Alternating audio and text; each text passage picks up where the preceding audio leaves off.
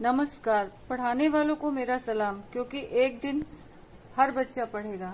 कहते हैं, teachers open the door, but you must enter by your एक शिक्षक दरवाज़ा खोल सकता है,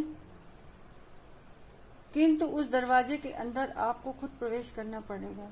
मनुष्य के जीवन में प्रारंभिक शिक्षा का व्यक्तित्व निर्माण में अत्यंत महत्वपूर्ण स्थान है। जिस प्रकार एक बीज में विशाल वृक्ष के रूप में विकसित होने की संभावनाएँ छिपी रहती हैं, उसी प्रकार बच्चों में अनेक अंतर्निहित क्षमताएँ होती हैं, जिनको शिक्षक कक्षा शिक्षण के माध्यम से निखारते हैं।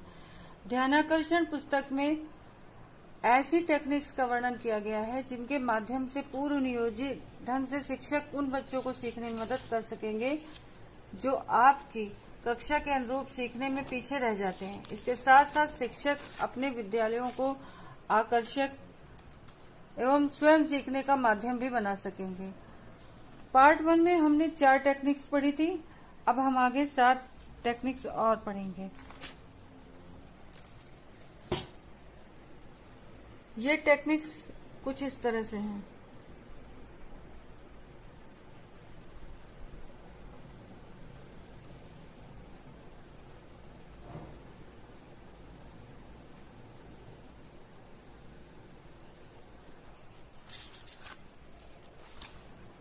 पहली टेक्निक है resource rich classroom second classroom management and seating plan interesting introduction appropriate use of TLM part second में पहली टेक्निक है use of educational activities innovations games role play stories second है इंक्वायरी फिर talk for learning use of worksheet involving all group work pair work आइए अब एक साथ याद करते हैं।